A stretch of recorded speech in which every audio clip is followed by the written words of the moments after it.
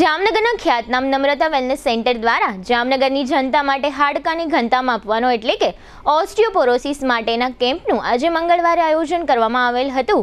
આ કેમ્પનો મોટી સંખ્યામાં ભાઈ બહેનોએ લાભ લીધો હતો. છેલ્લા ચારથી પાંચ દિવસથી નમ્રતા વેલનેસ સેન્ટર દ્વારા હાડકાની ઘનતા માપવાના કેમ્પ અંગેની જાહેરાત કરવામાં આવી હતી, જેમાં સંખ્યાબંધ લોકોએ પોતાનું નામનું રજીસ્ટ્રેશન કરાવ્યું હતું. જેના ભાગરૂપે રજીસ્ટ્રેશનની સંખ્યા ટાર્ગેટ કરતાં પણ બમણી થઈ ગઈ હતી, જેને કારણે સંખ્યાબંધ લોકોનો આજે આ કેમ્પમાં વારો આવ્યો ન હતો. રહી ગયેલા તમામ લોકો માટે આવતીકાલે સવારથી જ હાડકાની ઘનતા માપવાનો કેમ્પ ફરી શરૂ કરવામાં આવશે.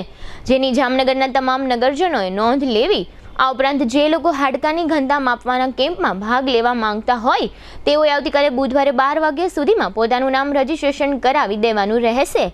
આ કેમ્પ આવતીકાલે બુધવારે સવારે દસથી સાંજના છ વાગ્યા સુધી ચાલશે.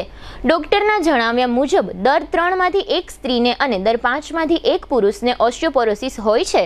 પચાસ વર્ષની ઉંમર પછી થતા એંસી ટકા ફ્રેક્ચર ઓસ્ટિયોપોરોસિસના કારણે થાય છે. મોટી ઉંમરના લોકોમાં ઊંચાઈ ઘટી જવી કમરથી વાંકા વળી જવું જેવી તકલીફો ઓસ્યુપોરોસિસના કારણે થાય છે.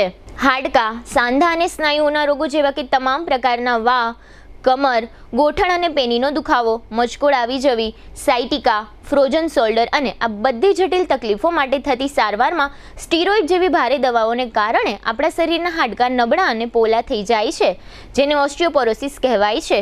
આ ઓસ્ટિયોપોરોસિસની તપાસ માટેના કેમ્પમાં હાડકાની ઘનતા સ્પેશિયલ મુંબઈના મશીન દ્વારા માપવામાં આવી હતી.